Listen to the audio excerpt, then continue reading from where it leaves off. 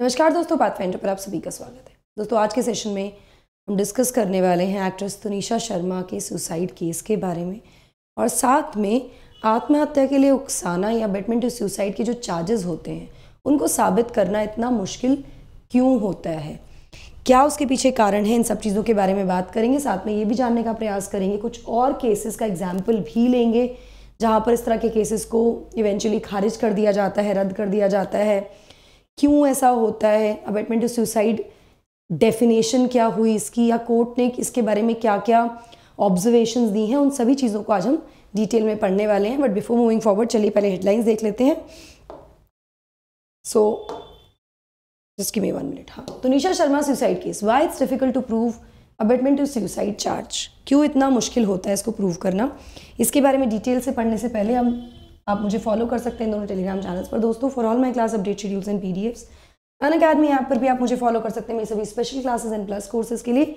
Enrol करने के लिए आपको सिर्फ़ मेरा कोड यूज़ करना होता है एन डी लाइफ टेन चलिए, पहले न्यूज़ देख लेते हैं। तो मीरा भयंदर वसई विरार एम पुलिस ने संडे को अरेस्ट किया है टेलीविज़न एक्टर शहजान खान को for the suicide of his co actor Tunisha Sharma. Tunisha Sharma की आत्महत्या।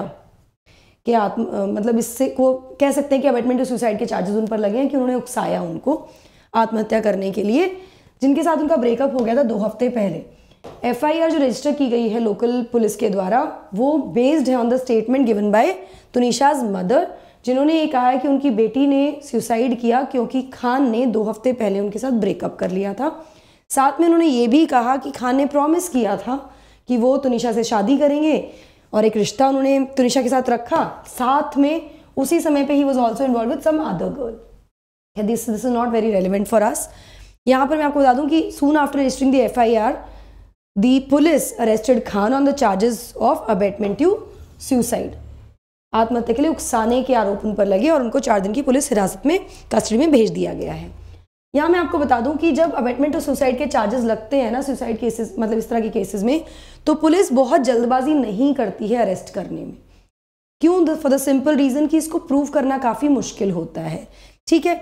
इसका जो हम एक तरह से कह सकते हैं, हम अगर एनसीआरबी के डेटा को देखें 2021 के नेशनल क्राइम रिकॉर्ड्स ब्यूरो के डेटा कहते हैं कि कन्विक्शन रेट जो है ना, इस इस तरह के केसेस में suicide abetment to suicide cases में, जिसमें आरोप लगता है किसी पर कि इसने उकसाया, जिसकी वजह से व्यक्ति ने आत्महत्या की है। ऐसे केसेस में कन्विक्शन रेट जहाँ पे महिलाएँ विक्टिम है, केवल 20 परसेंट है। तो ये प्रूव करना क्योंकि डिफ़िकल्ट होता है।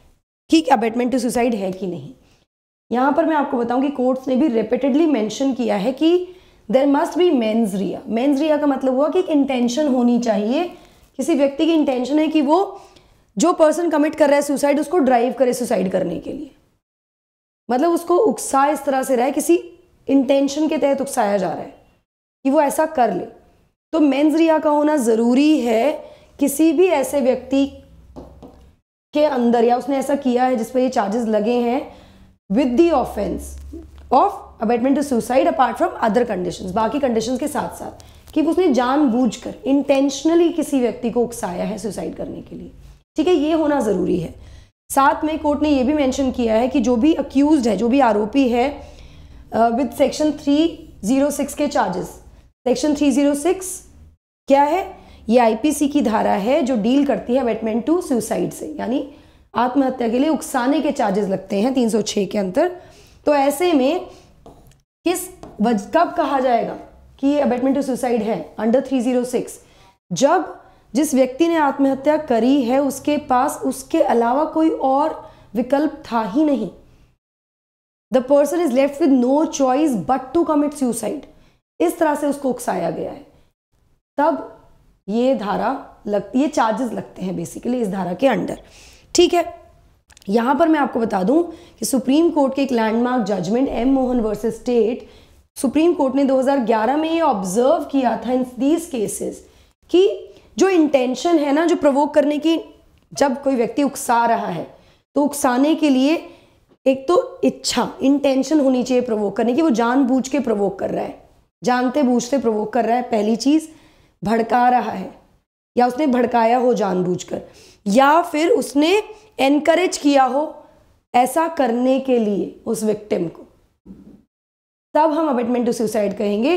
यहाँ पर सुप्रीम कोर्ट ने आगे क्लैरिफाई किया कि हर व्यक्ति की जो सुसाइडेबिलिटी सुसाइडेबिलिटी है, का पैटर्न जो है, आत्महत्या का जो पैटर्न है, वो अलग होगा दूसरे लोगों से। इसी तरह हर व्यक्ति का अपना आइडिया है सेल्फ एस्टीम का सेल्फ रिस्पेक्ट का। सपोज़ कीजिए किसी ने उकसाया सेल्फ किसी की सेल्फ एस्टीम हर्ट हो गई सेल्फ रिस्पेक्ट हर्ट हो गई बट ये बहुत सब्जेक्टिव है। हर व्यक्ति का अपना एक आइडिया है सेल्फ रिस्पेक्ट का सेल्फ एस्टीम का। ठीक है? तो यहाँ सुप्रीम कोर्ट ने आगे कहा कि बहुत ही मुश्किल है इस तरह के केसेस में एक स्ट्रेट जैकेट फॉर्मूला लगाना। इस तरह केसेस को डील करते हुए, इसीलिए हर केस जो भी डिसाइड किया जाएगा, उसको on the basis of its own facts and circumstances decide किया जाएगा। उसके अपने फैक्ट्स और सर्कमस्टांसिस के आधार पर ही उसको डिसाइड किया जाना चाहिए।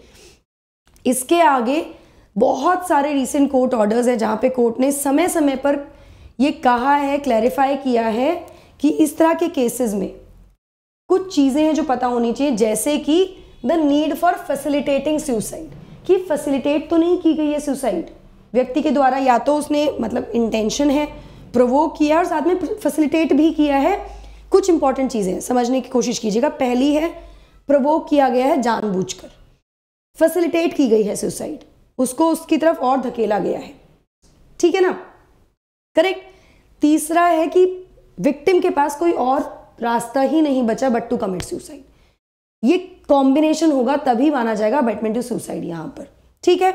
For any one to be charge by it even if that person has been named in the suicide note by the deceased मतलब अगर फैसिलिटेटिंग सुसाइड की कोई दिख नहीं रहा कि सुसाइड फैसिलिटेट की गई है आरोपी के द्वारा, चाहे उसका नाम भी क्यों ना दिया गया हो चार्जशीट में सॉरी सुसाइड नोट में।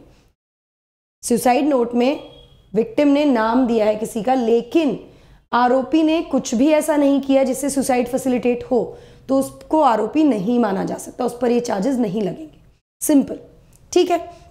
इसी महीने एक उनतीस, उनतालीस साल के व्यक्ति को, एक आदमी को अक्विट करते हुए, जिस पर आरोप था बेटिंग हिज वाइफ सुसाइड की उसने अपनी वाइफ को उकसाया था सुसाइड करने के लिए 2015 में सेशन कोर्ट ने ऑब्ज़र्व किया कि माना कि हस्बैंड हरेस कर रहा था अपनी वाइफ को under the influence of alcohol but इससे कहीं भी इस्टेब्लिश नहीं होता है कि उसने अपनी वाइफ को उकसाया या फिर उसने कुछ ऐसा किया कि उसने सुसाइड फैसिलिटेट की बेसिकली ठीक है ना? उसको फैसिलिटी प्रोवाइड की सुसाइड करने के लिए।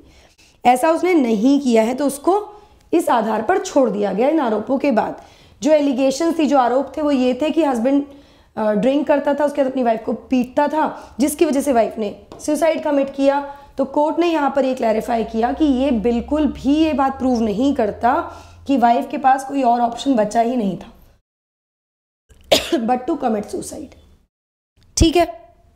चलिए। एक आईपीएस ऑफिसर ने इस संबंध में क्या कहा? उन्होंने कहा कि section 306 abetment to suicide IPC में जो दिया गया है, उसको प्रूव करना बहुत ही डिफ़िकल्ट है। ठीक है? ये बताना कि व्यक्ति ने ऐसा किया है। साथ में ये देखना कि भाई, जो विक्टिम है, जो पर्सन है, उसके पास कोई और रास्ता ही नहीं बचा था but to commit suicide and साथ साथ ये प्रूव करना कि जो अक्यूज है, जो आरोपी है, उसकी इंटेंशन थी और उसने उकसाया है सुसाइड करने के लिए। तो ये प्रूव करना काफ़ी कठिन हो जाता है। आगे इनका कहना ये है कि कई बार ऐसा होता है कि जब कोई फैमिली अपने किसी फैमिली मेंबर को खो देती है बिकॉज़ ऑफ़ सुसाइड आत्महत्या की वजह से। तो वो गुस्से में आके इस तरह के एलिगेशंस लगाते हैं, इस तरह के ऑफकोर्स लगाए जाते हैं, कहा जाता है कि इस फला व्यक्ति की वजह से, इसकी, इस हरकत की वजह से उनके फैमिली मेंबर ने सुसाइड कर लिया। तो ऐसे में एफआईआर दर्ज की जाती है, लेकिन अधिकतर वो एफआईआर सिचुएशन को कंप्लेंट जो है सिचुएशन को डिफ्यूज़ करने के लिए की जाती है, उस समय शांत करने के लिए। फिर जब इन्वेस्टिगेशन होती हैं इस तरह के केसेस में तो इनफ एविडेंस नहीं मिलते जो प्रूव करें अबेटमेंट जिसके बाद ना तो अरेस्टिंग होती है और ना ही चार्जशीट फ़ाइल होती है ऐसे व्यक्ति के अगेंस्ट कुछ एग्जाम्पल्स भी हैं जो सेलिब्रिटीज़ रहे हैं, जिन, जो काफ़ी ज़्यादा चर्चाओं में रहे, जैसे कि सितंबर 2017 में करण जोसेफ, जो कि एक म्यूजिशियन थे, उन्होंने कहा जा रहा है कि वो उन्होंने जंप कर लिया था अपने एक दोस्त, जो कि म्यूज़िक प्रोड्यूसर भी हैं, ऋषि शाह के थर्टीन फ्लोर रेसिडेंस जो कि बांद्रा में रहते थे। तो जोसेफ के फैमिली मेंबर्स ने आरोप लगाया शाह पर कि उन्होंने उकसाया सुसाइड करने के लिए करण को। बाद में फरवरी 2022 में ये केस बंद कर दिया गया क्योंकि एविडेंस नहीं थे ये प्रूव करने के लिए अबेटमेंट ऑफ़ सुसाइड था। इसी तरह से जुलाई 2020 में बिहार पुलिस ने एफआईआर रजिस्टर की थी against actress Rhea Chakraborty her family and some other people also क्या आरोप लगाया गया था? क्या चार्जेस थे? अबेटमेंट टू सुसाइड कि उन्होंने भी सुशांत सिंह राजपूत को उकसाया सुसाइड करने के लिए। सुशांत सिंह राजपूत ने सुसाइड आत्महत्या कर ली थी जून 2020 में। उसके बाद ये केस सीबीआई को ट्रांसफ़र कर दिया। लेकिन अभी तक भी सीबीआई ने कोई भी ऐसा एविडेंस मेंशन नहीं किया है जहाँ पर ये चार्जेस प्रूव होते हों। अगेंस्ट रिया चक्रवर्ती और हर फैमिली और दी पीपल जिन पर ये आरोप लगे हैं। चलिए अबेटमेंट ऑफ़ सुसाइड एक्चुअली होता क्या है? तो इसको समझ लेते हैं, इसकी डेफिनेशन को समझ लेते हैं। इंडियन पीनल कोड 1860 में अबेटमेंट ऑफ़ सुसाइड एक पनिशेबल ऑफेंस बनाया गया। सेक्शन 306 जो है आईपीसी का, वो प्रिस्क्राइब करता है या तो jail jail term up to ten years दस साल तक की सज़ा हो सकती है फाइन हो सकता है, या फिर दोनों ही हो सकते हैं। इसका जो आरोप है, उसके बाद अगर पनिशमेंट की बात हम करें इस ऑफेंस में। तो क्या कहता है ये? If any person commit suicide अगर कोई व्यक्ति सुसाइड कमिट करता है तो जिसने भी उसको उकसाया है ऐसा करने के लिए, उसको पनिश किया जाएगा।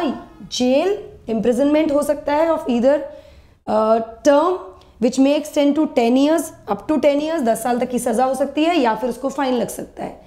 ऐसा सेक्शन 306 बोलता है। जनरली जो फाइन है, वो किसको दिया जाता है? किन को दिया जाता है? जो भी फैमिली मेंबर है डिज़ीज़ के, उसको ये फाइन दिया जाता है। यहाँ पे आईपीसी ने एक सेपरेट चैप्टर बनाया है मतलब है। आईपीसी में एक सेपरेट चैप्टर है ऑन अबेटमेंट एंड डिस्क्राइब्स उकसाने पर और डिस्क्राइब करता है who is an abettor under section 108 कौन अबेटर होगा? किसने उकसाया है? ये सेक्शन 108 के अंदर अलग से डिस्क्राइब किया हुआ है। अबेटमेंट को अगर हम डिफाइन करें तो इसमें होता है इंस्टिगेट करना किसी को एंगेज करना किसी कॉन्स्परेसी में, या फिर असिस्ट करना in committing the offence facilitate करना। ठीक है?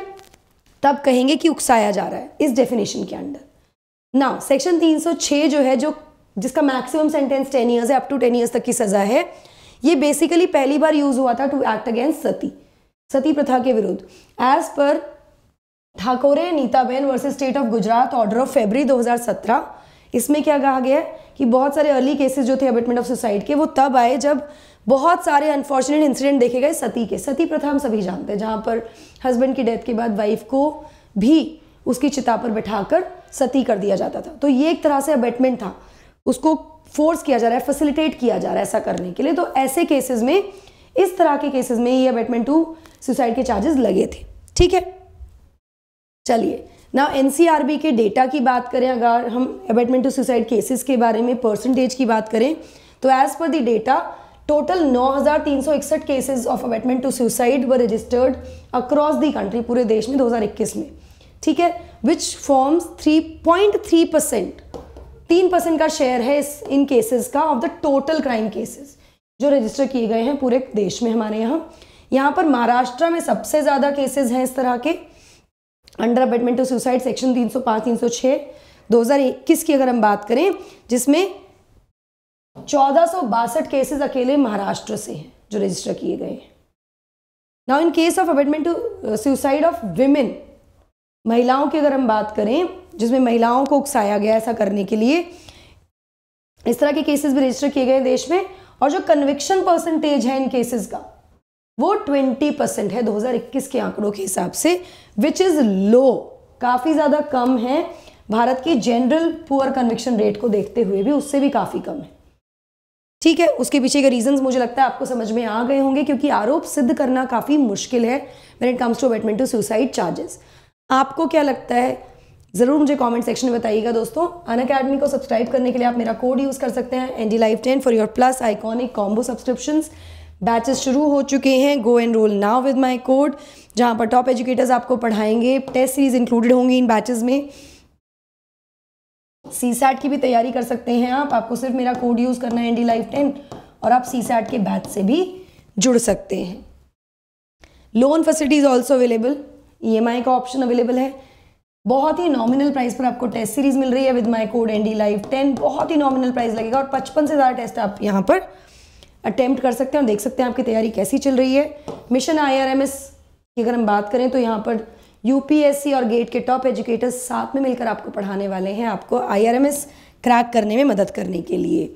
Last mile which is free interview guidance programme इसमें भी आप एनरोल कर सकते हैं अपनी इंटरव्यू तैयारी को और ज़्यादा मज़बूत करने के लिए। So that is it from my side I hope you like the session do not forget to like share and subscribe to the channel also the bell icon so that you get notification about latest updates thank you so much God bless take care